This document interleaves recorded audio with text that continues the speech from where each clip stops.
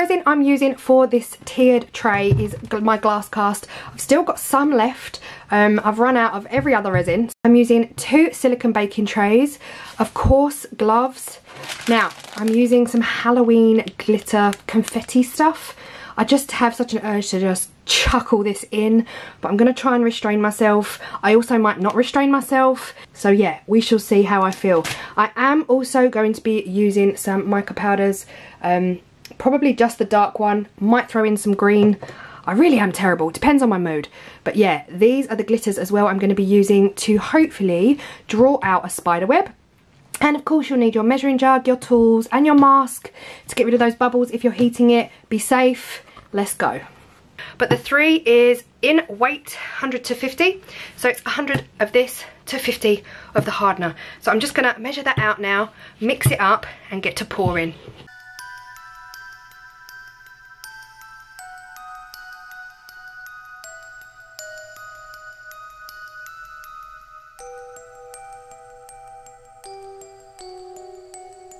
I need to think about the unit that I'm using. So if I unscrew it, I know that I've probably got around about that thickness to work with before it won't screw in anymore. As I pour, I'm going to go really slowly because I really want to avoid the air bubbles. But I'm going to zoom you in and then as I go, I'm going to clicky clicky it with my lighter. But make sure you're wearing your gloves and your mask for this. I've got my window open as well.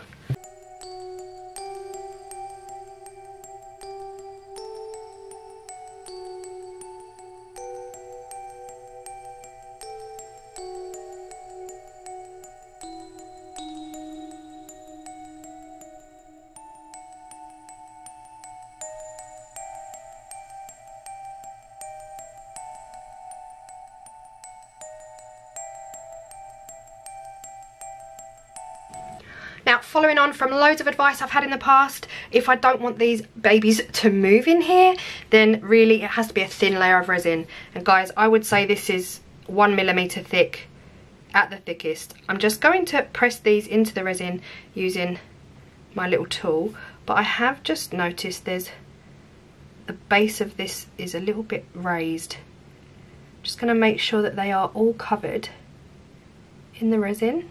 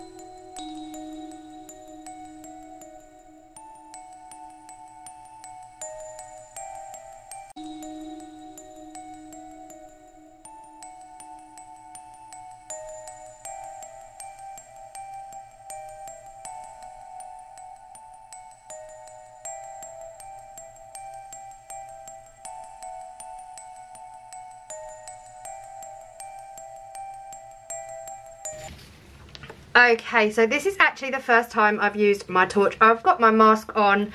Um, I was just really struggling to get rid of the bubbles a little bit in these because I had to just make up another little batch quickly. So if you're using a torch, be super careful. I've got all the windows open, got my mask on, got my gloves on, and do not put it against the resin. You want it high up just to get rid of those. So this is a culinary torch that I bought from Lidl's. Um, but yeah, I'm going to leave it there come back tomorrow and then we'll carry on. Right, it is the next day. I've just turned down the exposure on the camera so you can see the spider web. It really wasn't picking it up. I've used these glitter glues to put a spider web on this one. And it is pretty gorgeous. Um, now, gonna put one on the small one. So I'm gonna turn the exposure back up.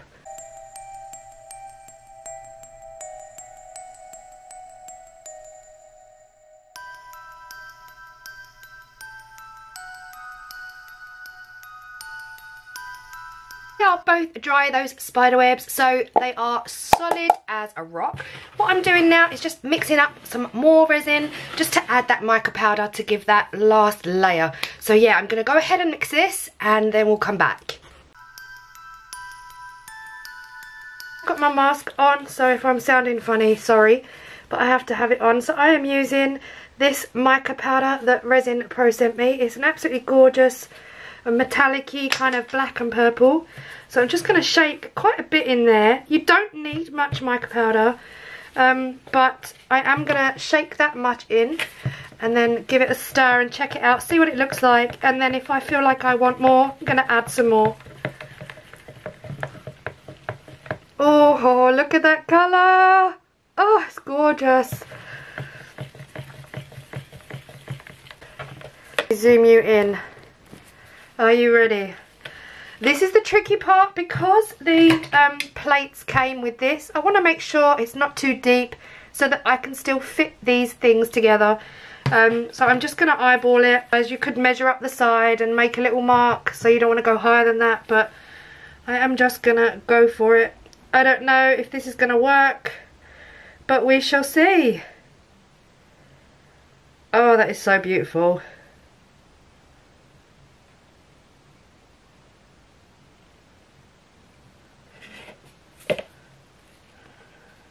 I'm looking down the side now of the mould. I can see through with the light. Definitely don't want any more than that. I've mixed up a second batch of that gorgeous, look at this colour guys. Absolutely stunning colour. But yeah, I'm going to pour this in. I've made a little bit more for this one because it is wider. Pour it in. Get the bubbles and then we're going to leave it, probably I'm going to leave it for a couple of days. I really do want it to be as set as possible. Okay, it has been two days. I am ready to pop these out. Oh my goodness me. A little bit excited. Have you heard that before? before I uh, pop them out, I just want to say this is the original plate that the tiered tray came in. So what I want to do is make sure that I've got a drill bit that's just perfect enough for that hole. So I've got my drill out, my drill bits out and I've measured so I've got the right drill bit for when it comes to putting the holes dead center in these. So let's pop them out. Drum roll. What should we do first, the big or the little? now, let me just say, never done this before. Obviously I've played with resin before. I've never made anything like this before. This could be a disaster. I don't know if, if it's worked with the glitter. So we shall see.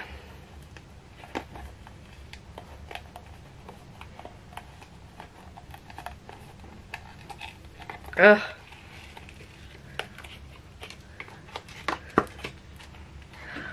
Oh my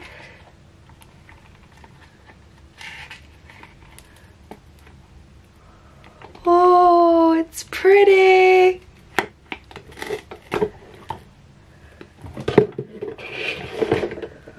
Oh.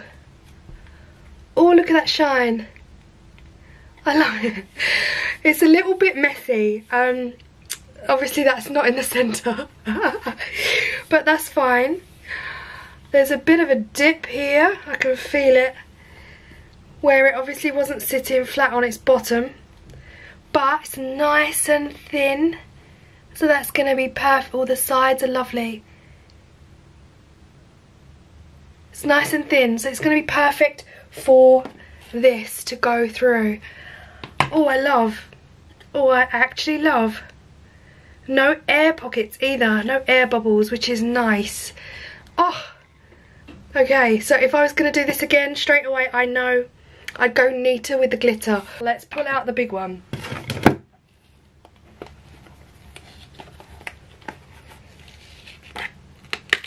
Oh. Oh my goodness. Ah. Oh, now I like this. So this is what it's gonna look like. My Halloween two-tiered tray. Guys, I've pretty much got them similar thickness as well so one is not thicker than the other. Do you know, I think I've had fun with this. I think if I was to do it again, I'd leave out the sequins as well. I don't know. More simple. Anyway, love, love, love. So that's the two done. Let me know what you think at this point. My next step. Now, I need to be able to drill straight into these resin pieces. So I've got this paper. I'm doing it really scientifically. I don't know of any other way. I'm basically going to draw around this disc to get the dead center of that. Now, I'm sure there's a better way. Mathematicians out there, diameter and circumference and all that jazz. I am literally going to cut this out. Once I've cut these out, I'm going to fold it, fold it, fold it to get that center point. And then I'm going to come back once that's done and we'll drill. Okay, I folded the paper up into quite a few folds and I got the center point. I rested it on the resin and marked the center point with the drill. And I'm just going to drill through both of these now. I've done it for the big one and the small one. Get that hole in and then fix it together. And yeah hopefully that should be it